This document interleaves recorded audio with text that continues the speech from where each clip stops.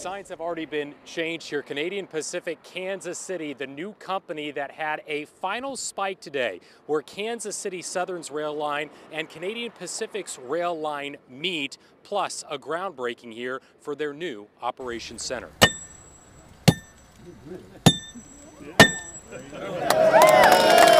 It took a few tries, but Kansas City Southern is no more. It's Canadian Pacific Kansas City.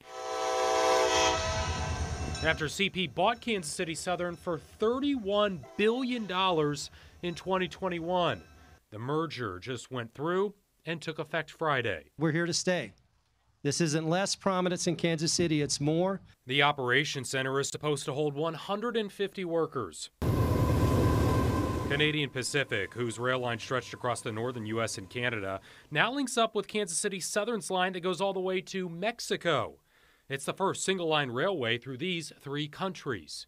And it starts today with this commitment this commitment to the city, this commitment to this world class